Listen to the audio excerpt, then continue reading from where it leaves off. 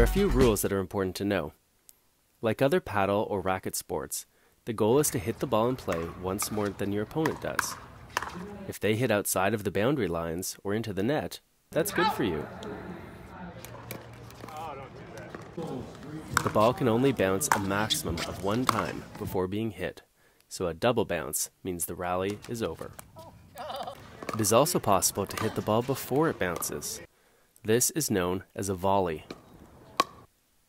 Volleys can be useful when the ball comes right at your body, or when you want to take away time from your opponents. Good players look to use volleys frequently. There is, however, an important exception. Each point begins with a serve. When players serve, they must hit the ball diagonally or cross court using an underhand motion. The ball must clear the line that is 7 feet from the net. This is when the rule known as the two bounce rule comes into effect. The receiving team must allow the ball to bounce, and if they hit it back, the serving team must do the same. So the ball bounces once on each side before players may take the ball out of the air as a volley.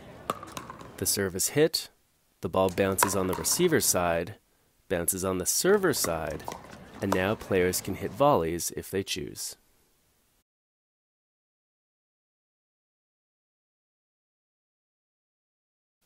There is one more important rule you need to know about. I mentioned the line that the ball must land beyond when serving. It is 7 feet from the net and is called the non volley line. The space between this line and the net is known as the non volley zone, although most people call it the kitchen. Recall that a volley is when you hit the ball out of the air without it bouncing first. Well, guess what? You may not volley if you are standing in the non volley zone. You may not volley if you're in the kitchen.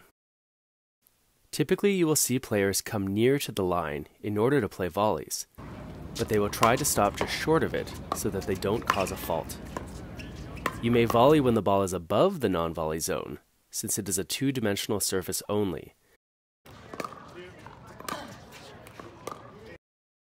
And occupying the airspace is fine. Sometimes new players think that you may not enter the non volley zone at all, but this is not true.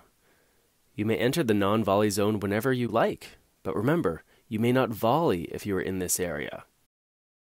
Most frequently, you will see players go into the kitchen if their opponents have hit the ball low and close to the net, so that running into the kitchen is required in order to play the next shot. Just remember to let the ball bounce first so you are not playing a volley in a restricted area. Finally, let's take a moment to talk about scoring. Games are typically played to 11 points, although this can vary a little. When a team hits the ball in play once more than their opponents, they have won the exchange. They will earn a point, however, only if their team happened to be the serving team at the beginning of the rally. If your team is serving and you win a rally, your team earns a point.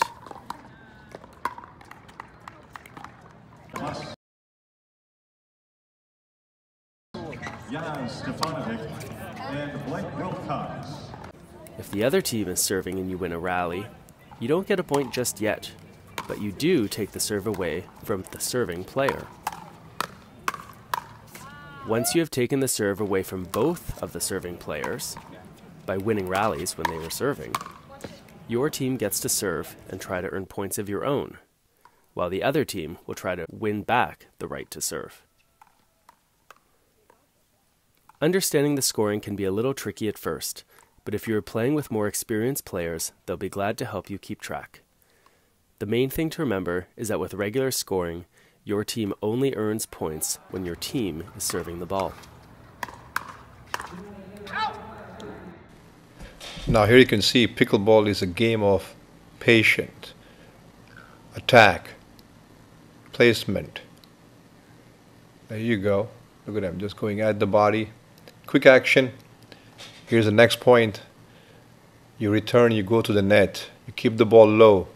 If you pop up, your opponent can attack you in a heartbeat. There you go. Return, go in, placement. Now this point is amazing point. They're really waiting for one to pop up. There you go. A lot of movement, a lot of side to side, keeping the ball in the middle. There you go. Nice low ball. And then suddenly you're going to see a guy hit a ball. That's a good footwork. There you go. Bum, bum, bum. And it's done.